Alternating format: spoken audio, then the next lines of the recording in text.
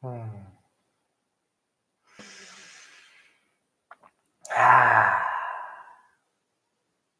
Welcome. If anybody's watching this live,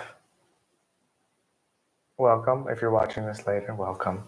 My name is Jeremy Ginsburg, and this is something I've been meaning to do for the last few weeks is make a vlog about this latest health adventure. the health adventure has been going on for a while, but the latest raw fruitarian aspect of it has been new. And so I wanted to to talk about that a little bit because I enjoy sharing and I know my experience can be valuable to others watching and also I know there's a lot of smart people out there on the internet that can provide some ideas, tips, resources in exploring the the road to health, to vitality, which is what we all really want, right? We want to feel good inside, and especially when when you're not healthy, that's really all you want. So, reminds me of a quote. Um, I forget who said it or exactly, but uh, a healthy man has thousands of dreams, an unhealthy man has just one. So, that hits home to me because I haven't been very healthy for the last few years, to be honest. And that is very painful for me to admit. I don't often share my vulnerability, my dark side, especially on social media these days. I used to write about the chronic pain that I've been going through, and more recently, I've just I've found more fitting containers for that support. But I want to open back up to the world and see see who's out there, see what this brings up. I'm not scripting this. I'm just flowing from from my heart. And so here we go. Thanks for joining. Anyways. All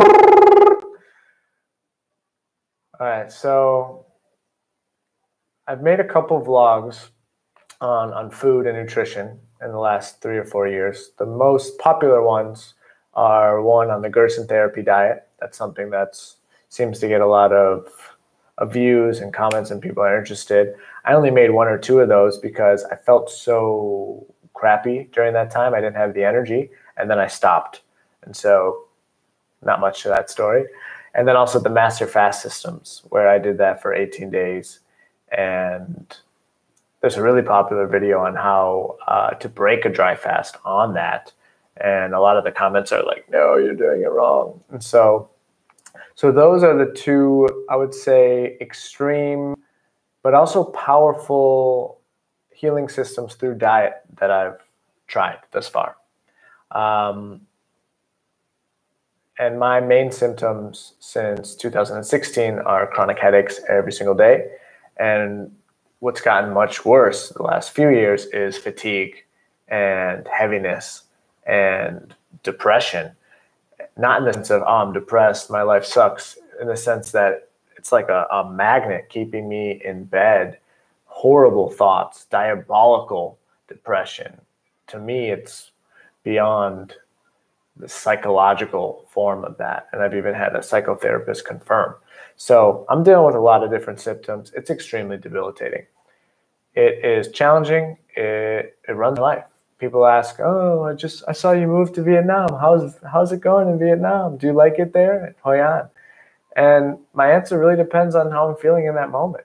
And the outside to me has so little value or importance when the inside is so so dark, so scary, so painful.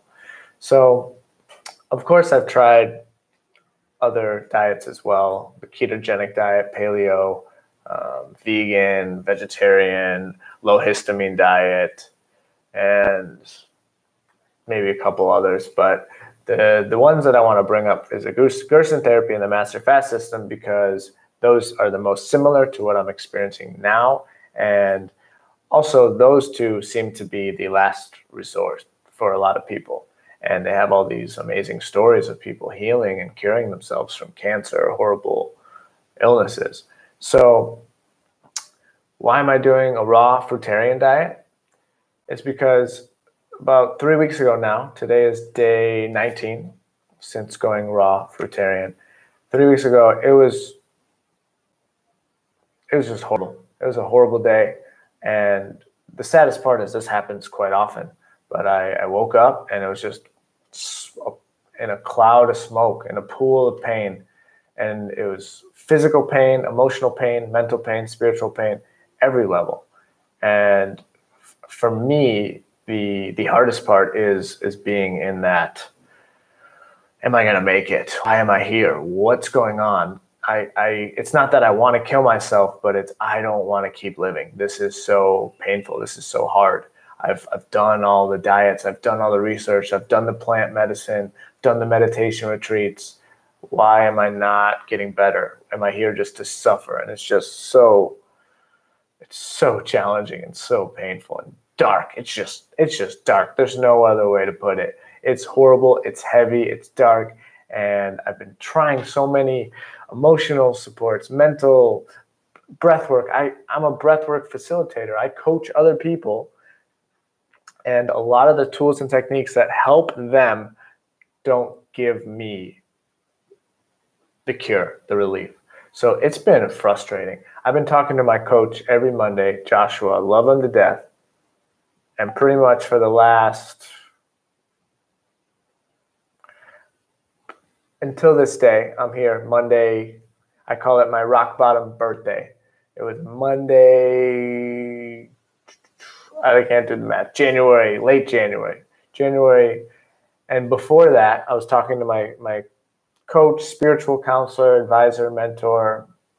He wears a lot of hats. He's amazing. And pretty much every time I talked to him Monday morning, I would start crying in the first five minutes. It was just so painful, no matter what, just having the space. And so I was talking to him that Monday, and I decided that I need to make a change. And that's actually, oh, it's the same day Kobe Bryant died. Because I remember finding out about that and sitting with myself and realizing, wow, this guy just died.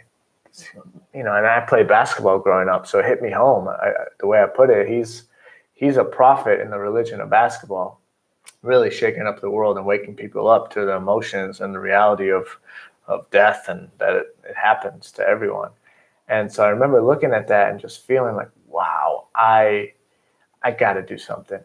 I can't wake up every day not wanting to live when this amazing, beautiful being, along with his daughter and everyone else on the plane, is dying, and it's so tragic and sad. There's something. There's something wrong here. There's something that's off. So I knew I had to make a change, and this hasn't this isn't the first time this has happened. There's plenty of times where I, get to so much desperation that I, I declare, all right, um, I did this in 2018. I said, all right, I'm doing 90 days without marijuana, THC, which is what I use a lot of the times, well, less recently actually, for pain relief. You know, to do anything. I, I believe we we operate from a sense of inspiration or desperation.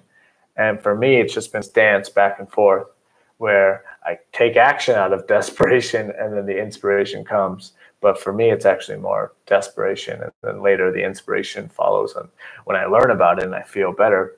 But the sad thing is, I haven't really felt much better. So it's just overall frustrating, devastating. So on that Monday, I just decided I need to make a change.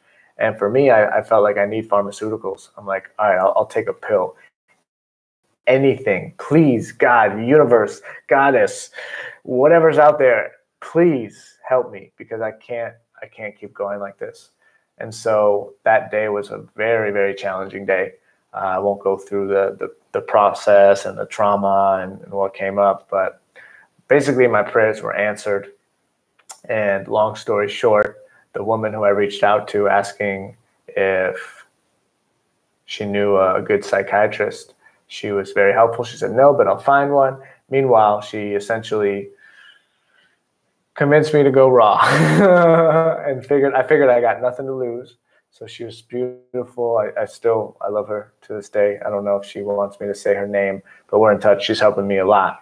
But basically, she yeah, she's like, right, have you gone raw?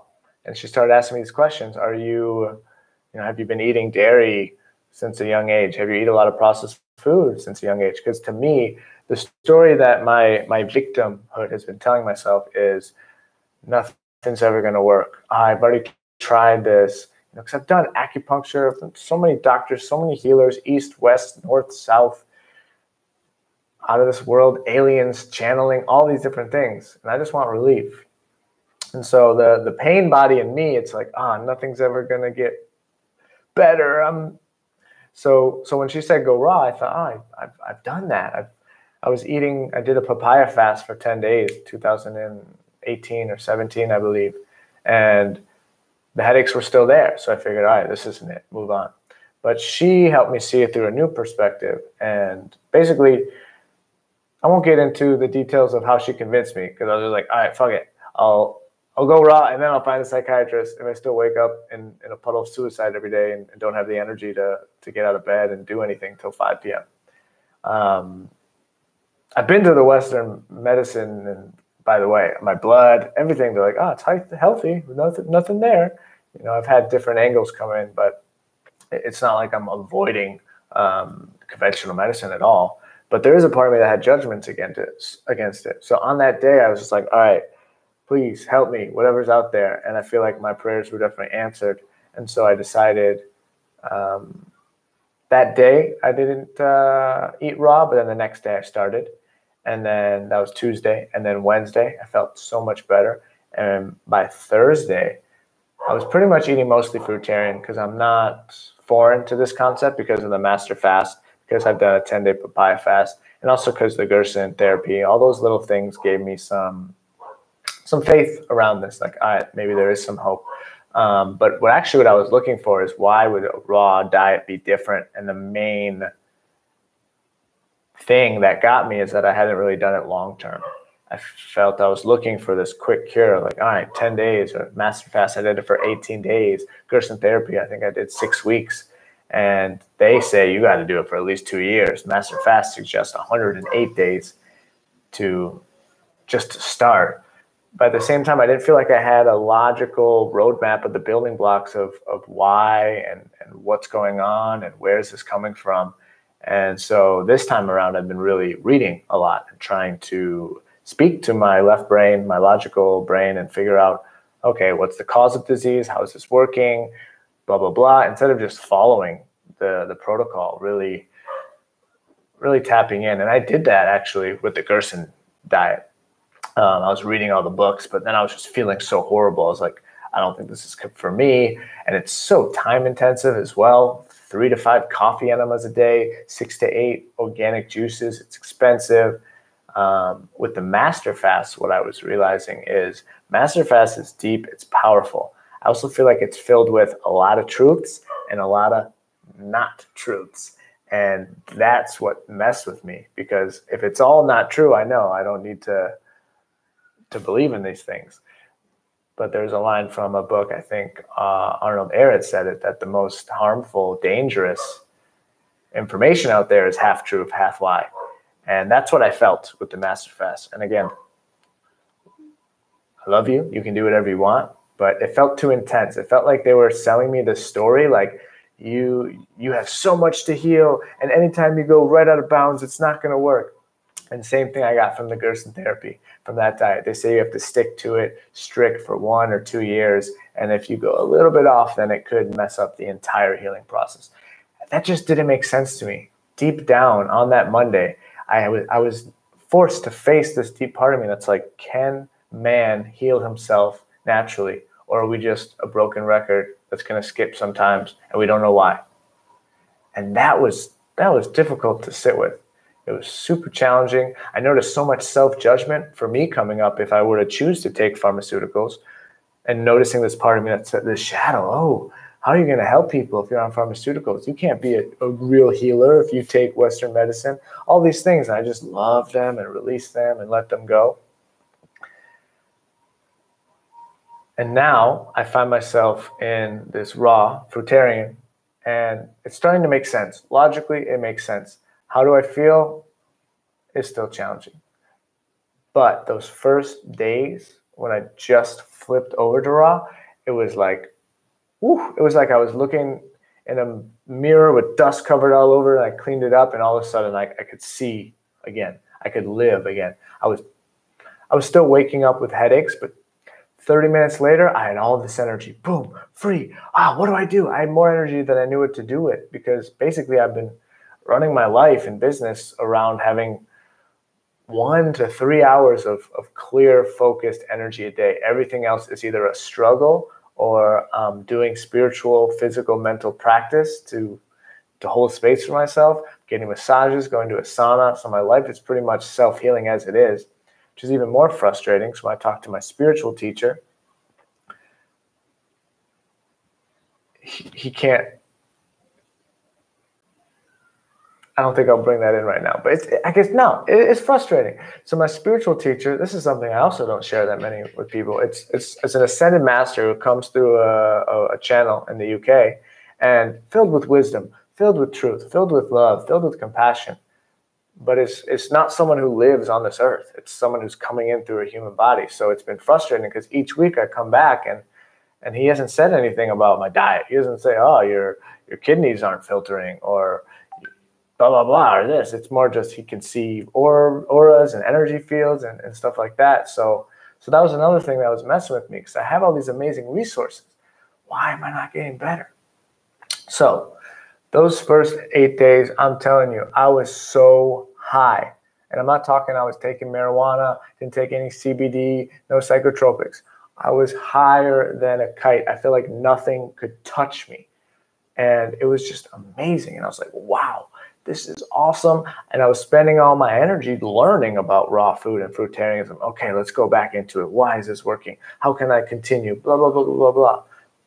But then there's this part of me that's like, if if I have all these symptoms, how do they just go away in a snap of a finger? So I got my eye read about irid, iridology, iridology, and basically that shown that showed me that my whole basically since a kid i just didn't have good genetics. But it started to make sense because based on my eyes can't see too well um, if you pull up the chart it shows up that i have a lot of toxicity in the body that needs detoxing. So i was meeting with her but i was still feeling amazing feeling high and i'm talking i went from a pretty clean diet. I was eating you know maybe fruit for for lunch because breakfast if I wake up in time, I don't even know if I have the energy to go downstairs. That's how bad it was and is. I'm gonna cry. so lunch would be like usually tea or cacao, and then I'll have some fruit, and then maybe snack on some cashews, and then evening vegetarian or vegan meal. So maybe once a week we go out to vegan um, Indian food. Maybe we'd have some some bread or banh mi as they call it in Vietnam maybe a stir fry, but pretty healthy diet by all you know normal health standards that we're given these days. So a part of me was also why why is everybody else eating this? And and I hate myself and I don't want to live anymore. And they seem to be great and excited and traveling the world and doing yoga and exercising and building their life. What what's what's wrong? What's what seems off? So when I got my eye read iris, not even just the iris, the whole thing, that that felt very empowering, very rewarding because it showed all these different deficiencies going on in the body. So it started to make sense. But I also realized when seeing that, then okay, if I'm super high now, this this probably isn't gonna last because everything isn't cured. This is I, I saw that as just like the universe being like, all right, go in this direction. You know, I was so high, I was like, pharmaceuticals. Why would I need that? Like, if anything, I need, you know, I, I, need some work to do. I've got all this energy. Who can I help? How can I do these things? Who, who, who wants my help? I'm, so, so that was about seven or eight days in. I was just high like a kite. And now it's been much more difficult. The last 10 days have been pretty much pretty similar to my older symptoms. Um, so it's been really challenging. But for me, I am coming back to faith, coming back to faith in myself, faith that man was created with all the tools necessary, all the tools. It just to me, it just doesn't make sense that we wouldn't. So, so what have I been eating? What have I been doing? I've been eating fruitarian, and then I've had a couple salads at night. The first week, I wasn't even hungry. I'd like get out a mango. I had like six mangoes. I would two mangoes. I'd be like, "Well, I'm full. I don't need it anymore." So, I've been reading Arnold Ehret's work, The Mucusless Diet and Rational Fasting, and I find that very, very helpful, very inspiring. Also, going through Dr. Morse's material called the Detox Miracle source book, I believe. And yeah, those are the two main resources I've been following. And and just three days ago, I was in so much pain. I, I was like, all right, I'm gonna fast because based on Arnold Ehret, fasting is seems to be the he calls it nature's operating table. So now I wouldn't even say I'm a raw fruitarian. I'm legit on a, a semi juice fast. I've been having a little bit of juice each day, but pretty much eating as little as possible, hoping, praying that my body can can start to bounce back. Um, I'm going to be eating very soon. Uh, I'll feel it out, and then I'll go more into fruit and watermelon, berries, etc. But um, I committed to 90 days. On my rock bottom birthday that Monday, I committed, all right, I'm going to do 90 days raw, give it a shot. And I had nuts the first week, didn't really sit with me. I tried cacao, didn't sit with me. I feel really drawn to the fruit, fruit and herbs. And there's a lot of resources that promote that. And it's also not new to me because the Master Fast was all about fruitarianism.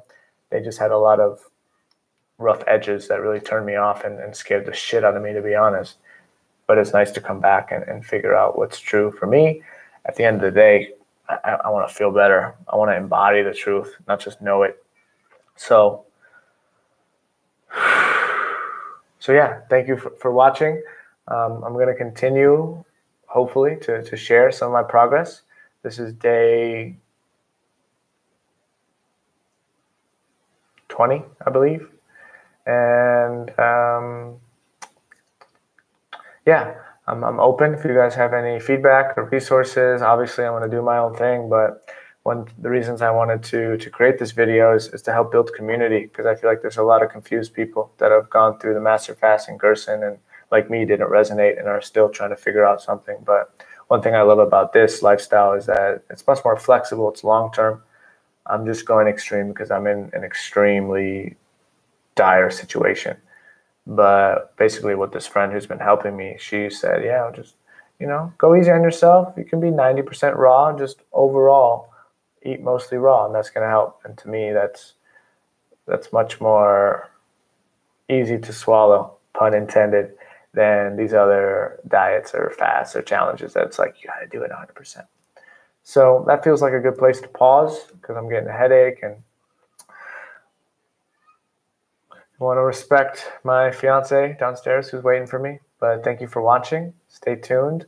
And if you have any resources around fruitarianism or raw or in alignment with, with why fasting is, is so beneficial and so helpful, please reach out. And if you have any questions, of course, I'm happy to help. At the same time, I'm still figuring this out myself. So, as you can tell. So, thank you for watching. Please um, subscribe if you haven't yet. Uh, I usually don't make these types of videos now, but I may make more as um, I'm I'm really excited about tapping into the truth of health and nutrition so that I can more confidently share what I feel is true. But up until now, I've been a little bit confused, so I haven't really wanted to tell people do this, do that, because I'm still figuring out myself.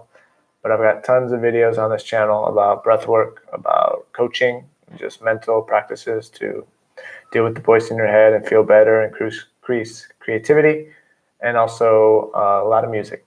So feel free if that interests you at all. Otherwise, maybe I won't see you ever again. all right, just playing. I love you. Thank you for watching, and I hope you have an amazing day.